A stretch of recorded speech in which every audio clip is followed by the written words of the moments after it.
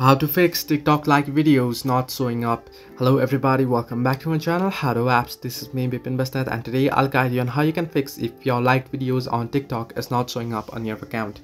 Now where do you see your liked videos? Now first you'll have to open up your TikTok application, tap on the profile icon at the bottom right corner of your screen and then here on the profile you'll be able to see various icons here at the screen you want to simply tap on liked sections and you'll be able to see liked videos here right now if you have certain like videos and if you are heading into this section and you're still not being able to view your like videos it's not showing up or it's not popping up then it might just be a glitch or the bug. In that case you might want to reset it reset the application head into your settings device settings and you want to head into the apps option. Under apps you want to sc scroll down or you want to search from the search panel for tiktok. Once you search it you want to simply scroll down and head into storage option.